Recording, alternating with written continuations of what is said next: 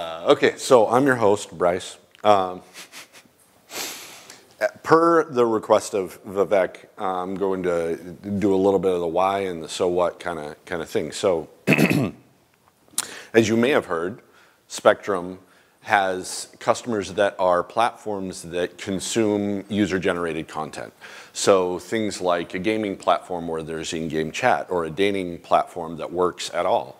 Uh, there's user-generated content that you send, and those types of platforms have a financial interest to ensure that your experience on their platform is pleasant so that you spend more time on it. Because essentially the financials of their system is that if you, the more time you spend, the more profitable you are, generally.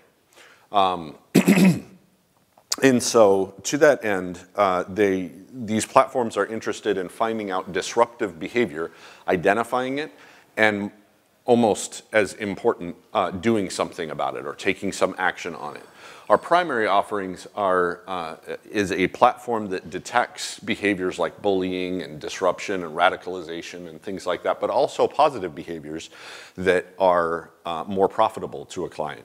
Um, to a platform like this. For instance, if you're a new user or a new user signs up for the platform, the platform would really like to know who's the most encouraging, welcoming person that we can pair this new user up with to get them oriented and, and maximize their time on the platform.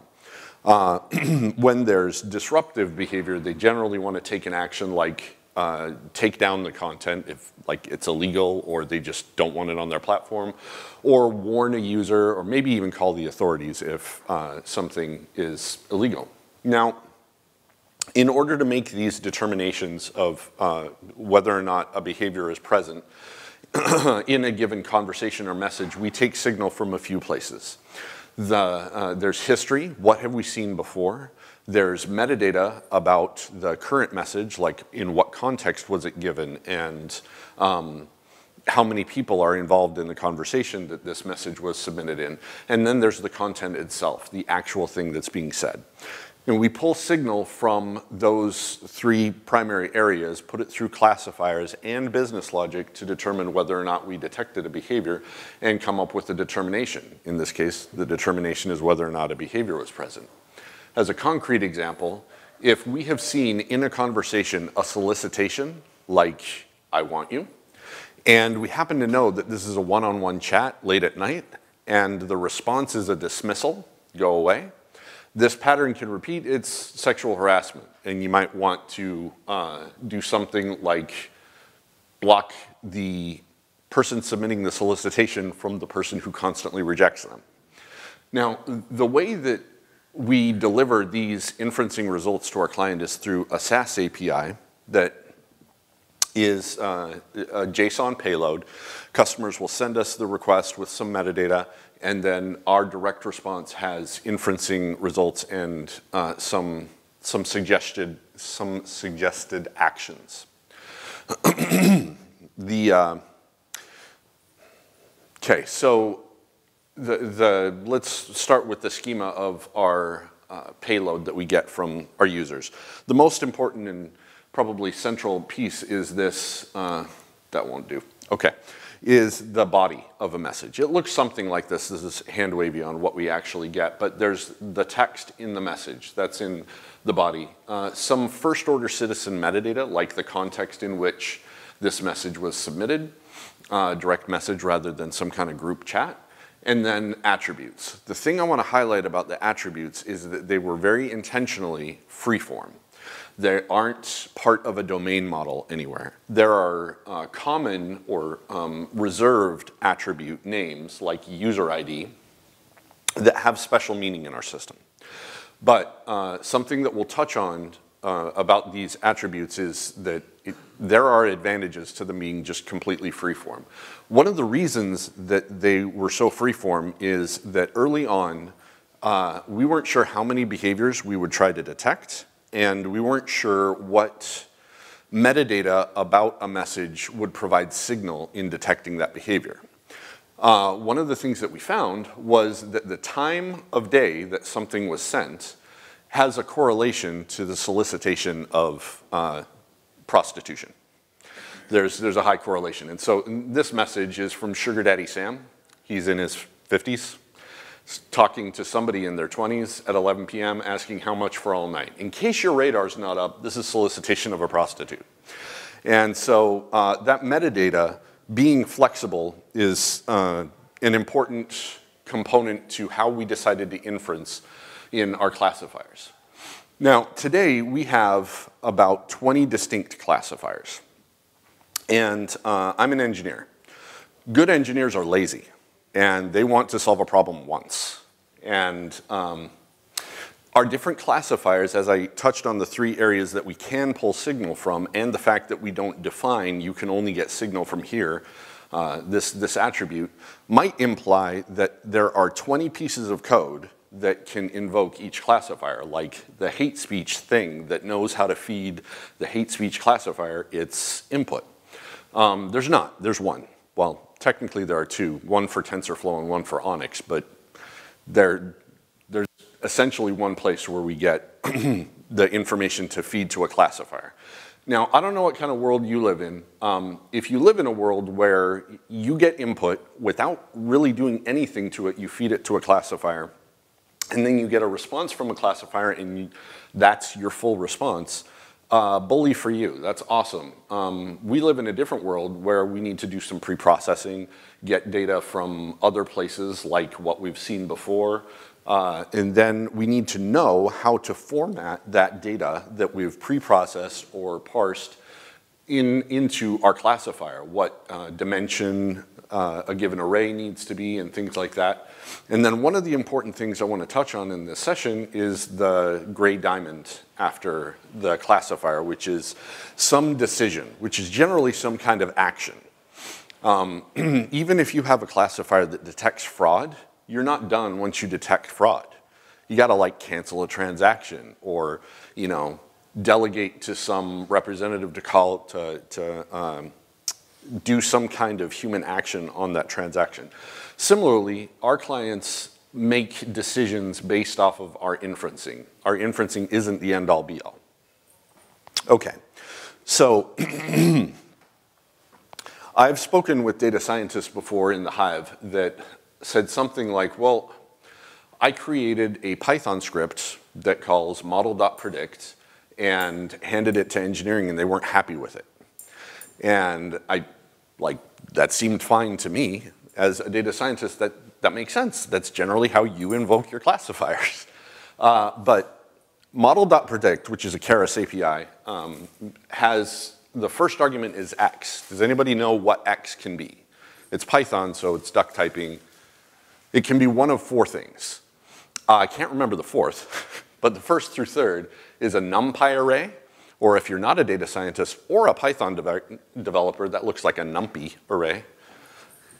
Anyway, uh, a, a data frame, which I think is a pandas construct, or a tensor, which is a first order citizen of the, uh, I, I, believe, the Keras API.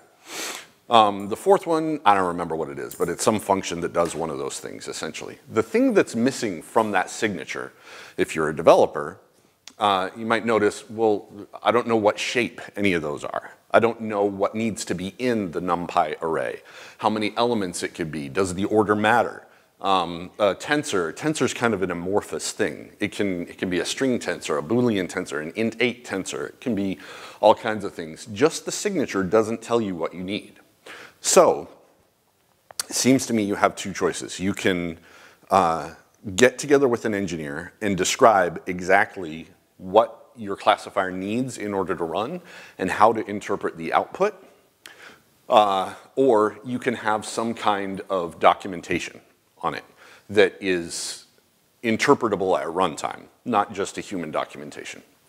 Um, so the different types of information that our classifiers might want is you know, somewhere in this list. By far, the most common is the embedded text. So an embedding, embedded text is uh, a vector that represents a word in a sentence.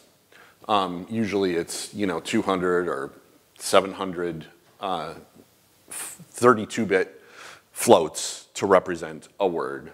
Uh, and there's also metadata from the message that a classifier can consume, like the time that a message was sent that we saw before. Uh, language, Bayesian priors, stuff like that. Um, if you're not familiar, a Bayesian classifier is one that takes a message and makes a prediction and then gets another message and it asks, hey, what did I predict last time? Give me my previous prediction. Now, my previous prediction with the current message, I'm gonna make a new prediction. And then that continues on. Every time a new message comes, it wants its prior. This is useful for uh, detecting behaviors that build over time, something like harassment or bullying. Um, one of the things that I think is more interesting in the signal that our classifiers can use is the output from another classifier. A lot of times if you're wanting the output of one neural network inside your neural network, you need to embed that sub neural network in yours and do some kind of ensembling in the output. And that's a perfectly fine option. What we opted for was a mechanism for our classifiers to ask, hey, what was the output of that other classifier? For instance, severe toxic might ask, what was the confidence of the hate speech and the racial slur and the radicalization, well, the threat classifier? Um, so we'll examine how these inputs can be detected and fed to a classifier at runtime. um, we decided not to go with a sit with an engineer and teach them all about your classifier option, and we went with self-describing classifiers. And there are two obvious ways to have a self-describing classifier. One is having a deployment descriptor with it. This is, you, you create a classifier and then along with the classifier you have some uh, file like a JSON file or a YAML or something that describes things about the classifier, how to feed it. These are the inputs I need, this is where to get them, this is how to format them, things like that. So that can go in a separate file. Uh, one problem that we saw with that was synchronization. I don't want our data scientists to spend all day uh, creating a classifier and then have to remember to go and update this other file. Um, so we opted for not that option. And most ML platforms are flexible enough that they let you rename the nodes in the graph. And so we went with this pattern, a prefix that connotates uh, an input and then some, some fields after that that we'll examine a little bit more on the next slide. One of the advantages of baking this into the classifier is that uh, it communicates to our data science team what their menu of options are. We have this pretty well documented. These are the things you can choose. If you want a tensor that is shaped this way, create a name that looks like that, that kind of thing. Uh, and this is pretty easy to parse and uh, it's impossible to get the wrong inputs for a classifier. Um, so it, it's never out of sync. So because it's baked in. So the three main places that we can specify as uh, the source of data is the current message, what other things are doing inferencing on that message, and things that we've seen before. Um, among the things in the current message is the language as we saw before and attributes and things like that. The confidence of some other uh, classifier can be in the, the current inference. These, these three pillars here is what I'm gonna call scope. Scope in this sense says, this is a prefix that says I am an input. This is where I want you to get your information from. This is how I want it formatted. And there's a specific key in attributes, it's kind of obvious. What's the name of the attribute? So what this is saying is uh, feed me the attribute named user sign up and interpret it as a duration. Duration in this case would be how long has it been since that timestamp that is in the attribute field user sign up. Uh, other, other things, probably the most common is input.content.embedded.body. So this says give me the text of the message clean it, tokenize it, and create a two-dimensional embedding vector and feed it to this tensor. Okay, so other examples get kind of interesting. One that we'll touch on is uh, input um, the attribute of user lifetime spend interpreted as a decimal. So remember that we, we can do that. okay, so at runtime, uh, the thing that we do first when we load a classifier at, uh, at startup or the first time that we see one is, this happens to be the ONNX API. Um, you can ask a classifier session what its input names are. And for each of those input names, we do some parsing. We get a little data structure back that gives us the scope, the format, and the identifier for the information that is being requested to give to the classifier. And we happen to be in Scala, so we can do something like, if the format is text, make a text input. If the format is decimal, make a decimal input. And we'll get to what an input actually is because it's something we kind of invented. It's not a tensor. Uh, and then this class right here that we're instantiating is the thing that has the ONNX session and has now things that are ready to give it tensors. So the inputs uh, obey this trait or implement this trait. It's just got one method for a given message and the context in which that message is being inferenced on, give me a tensor. Okay, so before we saw like decimal input. It takes an attribute name and knows how to get a decimal out. Well, this might be an implementation of it. So in get tensor for this message, it's going to go grab the attribute with our attribute name and convert it to a float. And then ONNX tensor.create tensor gives it back.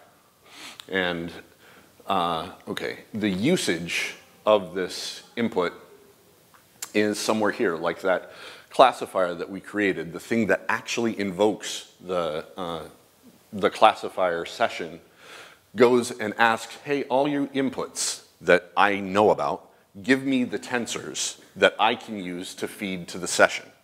Session.run takes some, some tensors. This is, I'm glossing over some details of the API, but that's essentially it.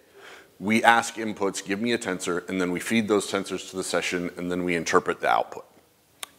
Yeah, Rohan. Uh, yes. Yeah, and, and so in this, uh, there's nothing obvious about where I got the information from or how I formatted it. Um, the second argument I think that I gave for model.predict was a tensor, and that's all we're given here. Uh, in, in fact, it's the only option in the JDK, uh, in the JVM API for ONNX. Okay. The, it's, yeah, yeah, there is no pandas, true. But there are data frames, could be Spark. Uh, all right, so that's essentially what we're doing at runtime when we get a classifier, and this gives us a couple advantages. So I think when we establish this naming pattern and this convention and kind of handoff between data science and engineering, we had something like five or six classifiers. We have 20 now, and this code hasn't changed hardly at all. Uh, so the, the advantage that, um, and, and, in fact, positive behaviors is a, um, is a decent example of how this changed. We created a totally new paradigm of what we're looking for. Instead of looking for toxic type behaviors, we were looking for positive behaviors. And uh, nobody needed to change any code to run them. They just follow the same pattern, pull from the same domain model, and uh, follow the same rules, and they run in here. Okay, so this is the first part of deploying your classifier to production is somehow facilitating your engineering team and runtime about how to invoke and interpret the output of your classifier. The second part is turning the inferencing predictions that your classifier returns into action. And this one's uh, a little more subtle and um, I, the, the use cases that we have, uh, if you remember this, this diamond, the decision right after here is what we're gonna be digging into uh, now you can make a prediction, let's say, for content that somebody would like. But just having the prediction of the content that somebody may like if they watched Godfather, maybe they should, maybe they would be interested in Casino.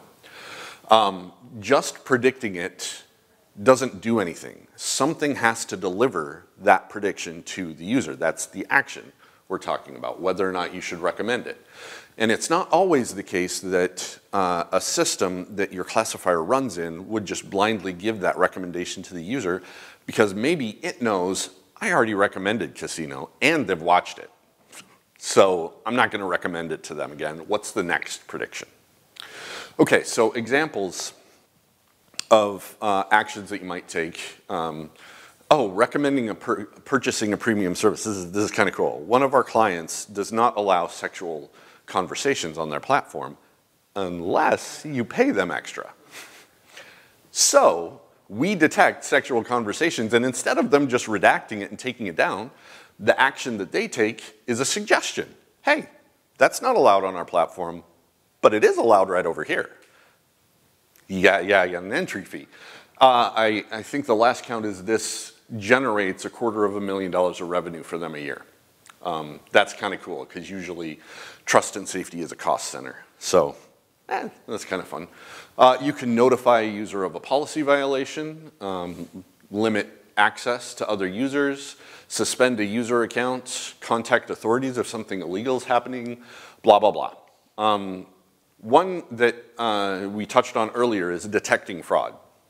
So if you have fraud detection, I can pretty much guarantee nobody's ever going to create a classifier that detects fraud, suspends the transaction, and refunds the, uh, the amount to the source account. It's probably never ever going to happen.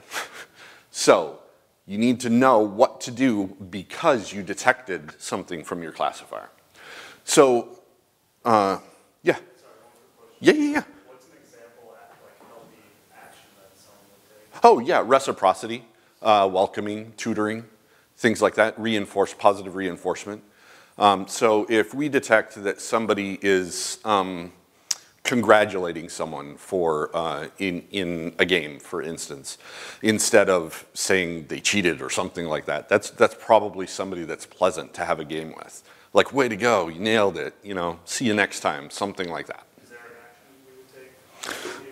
Yes, uh, the uh, example that I mentioned earlier, the, when a new user comes in, that user that demonstrates reciprocity in tutoring is probably a good candidate to recommend as uh, a, a teammate.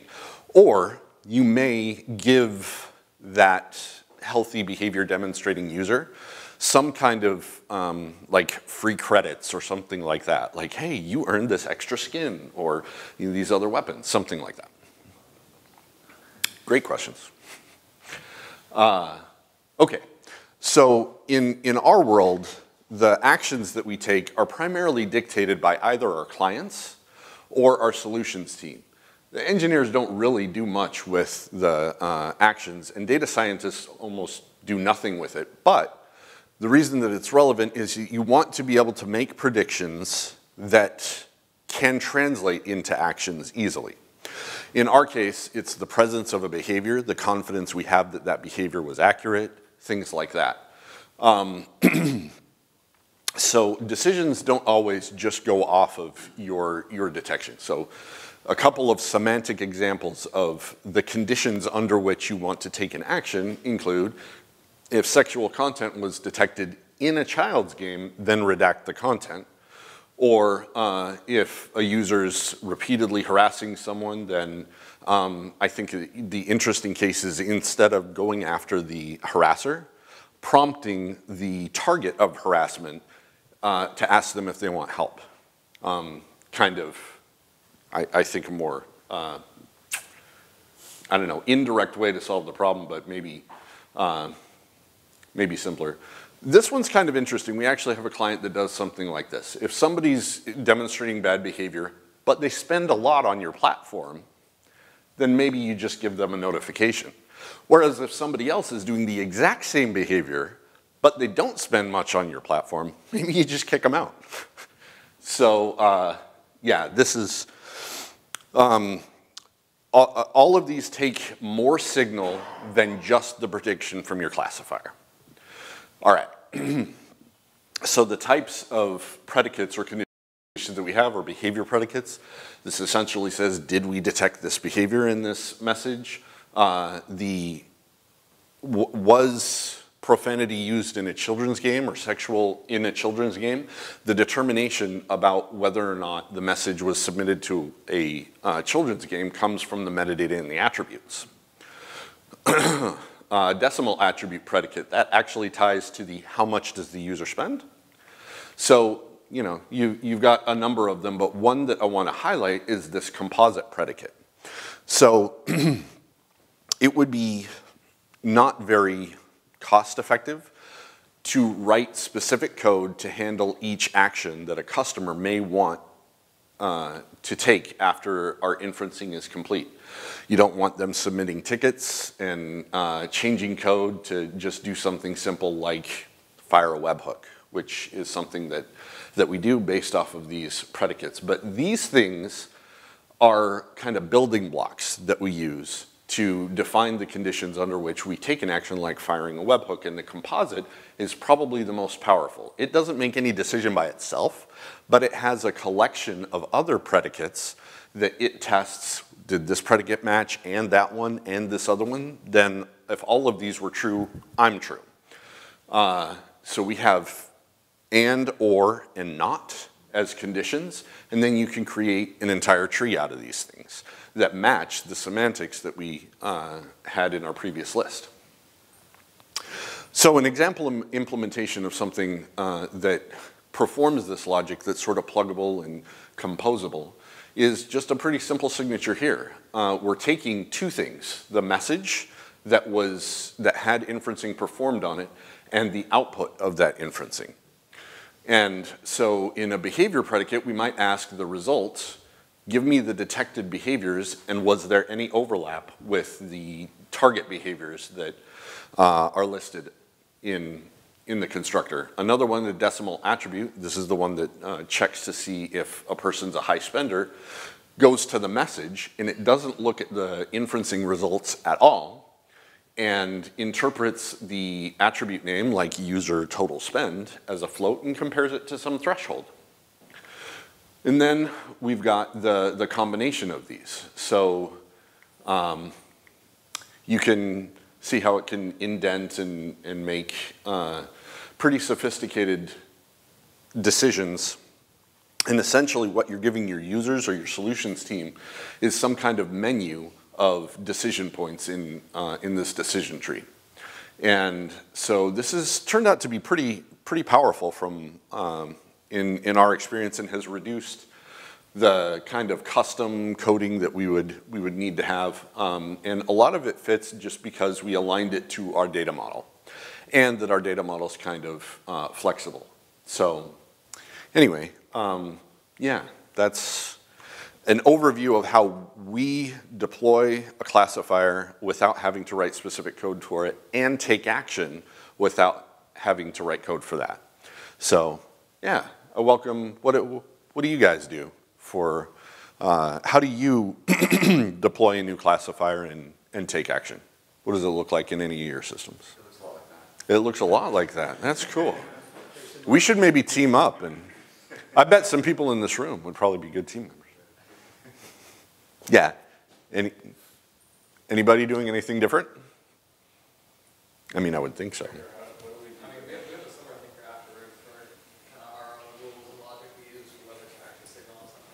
rules.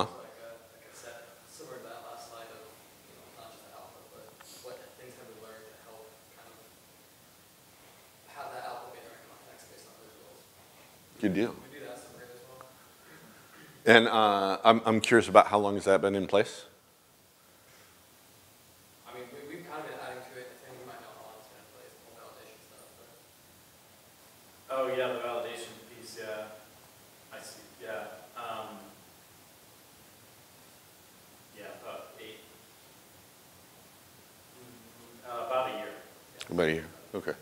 Because I think we had discussed something like this So, before well, then. Yeah, it's a little separate. We, we have the, the, um, that same sort of, we built a structure for holding Boolean Mhm. for firing automations out to say this and that and the other thing, which, um, is not tied directly to, uh, to inference, but, Mhm.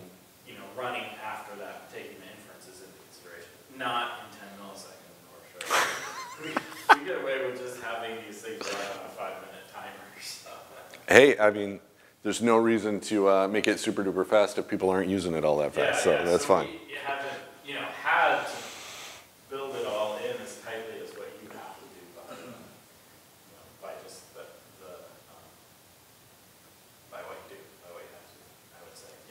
One thing I'd, uh, um, I didn't actually create a slide for, but that uh, maybe relevant. There are uh, three main places. Yeah, I think three main places where we want to make some decision this flexibly. Um, the first place is in our API response. So I indicated that our API will give the result of our inferencing, our behavior determinations, and suggested behaviors. These are uh, just tags. They're just metadata that we put in our response, but the presence of those tags is dictated by those predicates that I described. Another one is webhooks. So uh, one of the things that you might want to do is say, all right, if we already took action from the API response, but this message would have otherwise matched the conditions that would require this webhook to fire, we know we already took action from the uh, API response, so don't bother firing off a webhook. And the third place is whether or not we want a case to show up or how in our moderation queue. And that code that I demonstrated of, this is the thing that actually makes the decision, lives in all three of those places. And so uh, we get a lot of mileage out of this. It's kind of it's kind of nice. Yeah, Rohan. I guess just going back to like the code code classifier for a second. I think you showed there was like a trait for, um, for basically building a tensor. Uh huh. Yep. Um, Is that trait used across both ONNX and TensorFlow, and are there any differences? Uh, great, great question. They, the signatures are um, nearly identical. The semantics are absolutely identical. And the only reason that they differ is because the thing that they return needs to be feedable to the, um, the machine learning runtime that you're going to give it to.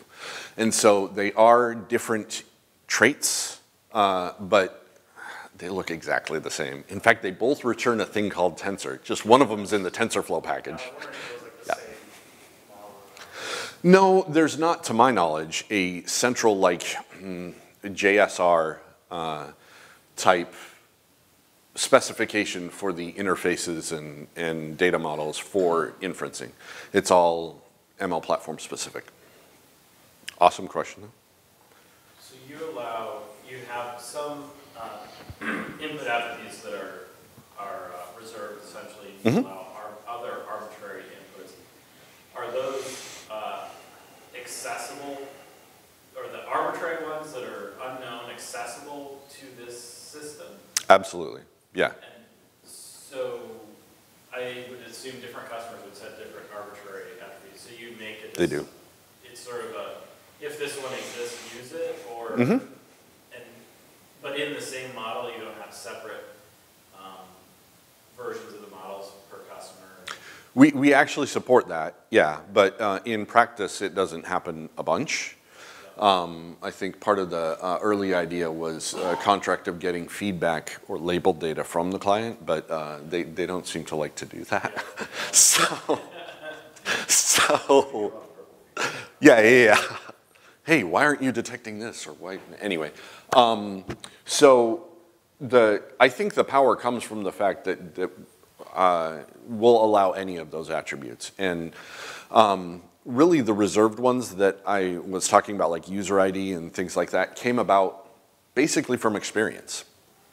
We were getting people send, sending uh, player ID and then user ID and username, and we're like, we're not going to make a classifier that has eight of these, and we constantly use that. So let's standardize it. So once we hit something that we identify, this has some pretty strong signal that we want to use in lots of places, then we standardize. And essentially, it's a documentation problem at that point. We go to our solutions team and like, hey, talk to the client, ask them to change player ID to user ID. And if you happen to be a very big client that pays us a lot, you don't change it. So, yeah. Anything else? Are you guys ready for a keynote? Let's go to a keynote. Thanks for coming. Thanks for all the support, guys.